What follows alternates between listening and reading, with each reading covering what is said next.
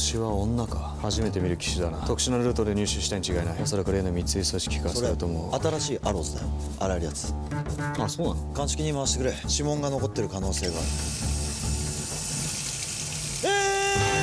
すげえベタベタしてた。いやだから。ザ・もっと洗えるスマホ。アローズ。めっちゃ綺麗になった。やめて。やめて！Fujitsu, shaping tomorrow with you. お前がやったお前の残忍さはこの証拠品見りゃ分かんだよ！あこれるんだ。え？ごめんごめん。いい加減アローズにしろって！アローズ。爆発か！いや花火大会だな。さあ続けるぞ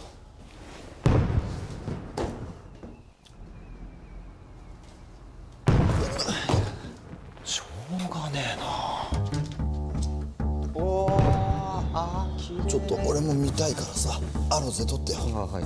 ちょっとフラフラフラしないで。お前が重いんだよ。ピントずれちゃうから。大丈夫ずれにくいから。おすごい。綺麗。ほら。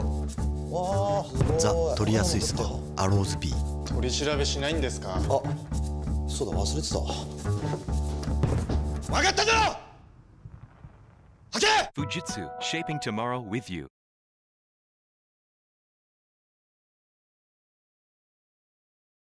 前回同様楽しく撮影をさせてもらっている感じですね。楽しいですやっぱり。どうだい？楽しいです。まあ今今現状ですけど、まあ、30秒のバージョンを取り終わってこれからまだでも1分の長いバージョンがあるのでまだまだこれからという感じですね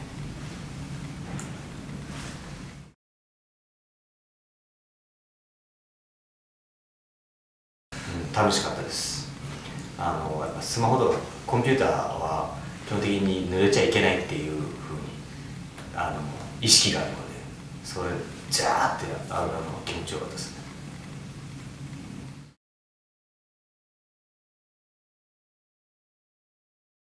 スマホを洗いたくなるときはすごい子供がお菓子を食べた後の手とかでガンガン僕の携帯で YouTube とか見たりするんですね、あの時は本当に頼むから触らないでくれって思うのでその時は洗いたいなって思います。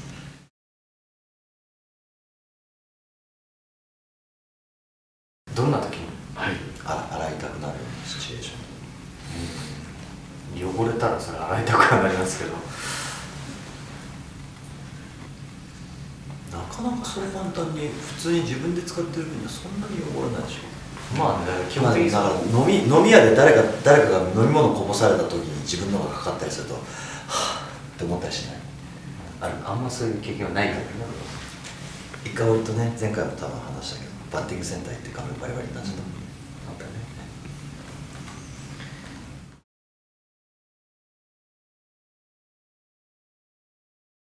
でもなんか別に考え方とかずっとずれてないよね。うん10年前と喋る内容そんな変わんない。変わらない。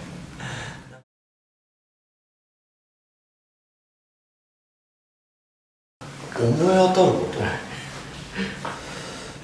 い。やまあでも本当に基本高之君は昔から本当に変わらないので、まあ、ある意味その基本ずれないなという感じですけど逆に言うと、まあ、もしかしたらこの前回の時にもそんな話をしてるかもしれない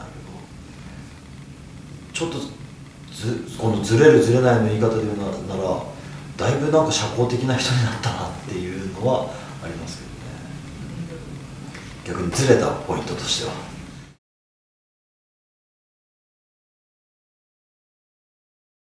まあ、今のからまず言うと、まあ、これ実はずれたというか戻ったなんですけどあの20代の時がずれてた。だだだだね。今だからあの小学生ぐらいの時と変わってない。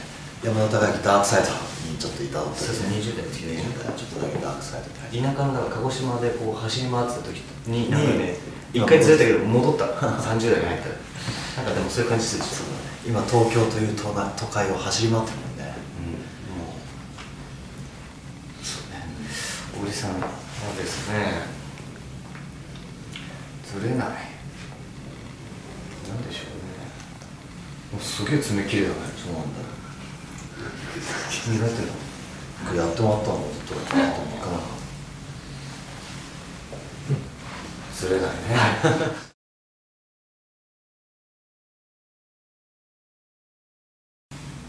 こんにちは小栗旬です、山田孝之です。えー僕たちが出演しているアロハズの割れないデカ新 CM ぜひぜひご覧ください。